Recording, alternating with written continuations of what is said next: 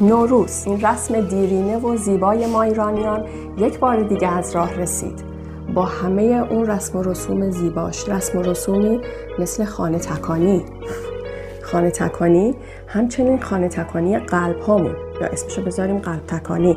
رسمی که بسیار زیبا بوده و در گذشته اگر که بینشون کدورتی ناراحتی بوده حتما قبل از تحویل سال سراغ همدیگه می‌رفتن و صلح و آشتی رو برقرار می‌کردن. نوروزتون مبارک. نوروزتون مبارک عزیزان. اما نوروزتون مبارک یک کلمه است یک نامه که یک عملی هم داره. عمل مبارک ساختن اینه که نسبت به همدیگه رحم داشته باشیم گذشت داشته باشیم همدیگه رو دوست داشته باشیم همدیگه رو ببخشیم حقیقتا. بیاین نوروز رو به سهم خودمون با انجام این سه عمل گذشت رحم داشتن و دوست داشتن همدیگه مبارک بسازیم.